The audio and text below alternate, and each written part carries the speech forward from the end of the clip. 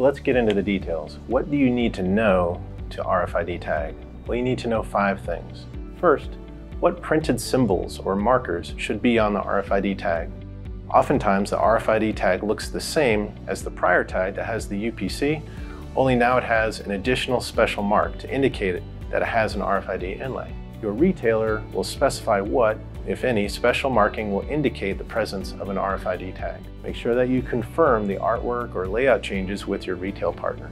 The second thing to know is what kind of RFID tag to use.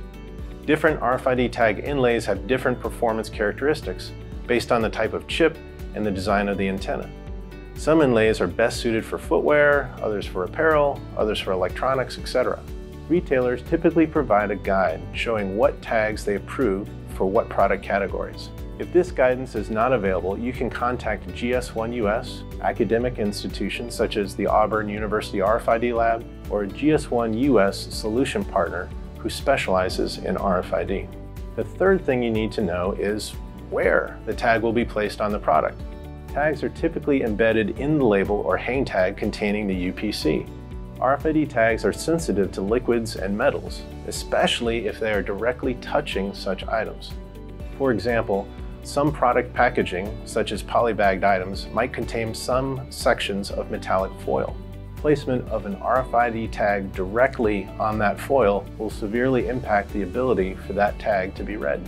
For this reason, one of the most important measures to take is to introduce a tag placement verification step when ramping up. This same step should be part of the process for reviewing any changes in product packaging, as well as new products moving forward. The fourth thing, you will want to ensure that a proper adhesive is used if you're using any new RFID labels.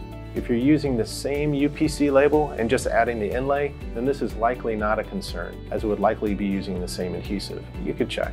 However, if you're using a new label, you'll want to confirm proper adhesion for the various sheens, for example, on laminated cardboard, noting various temperature and humidity conditions for items in transit.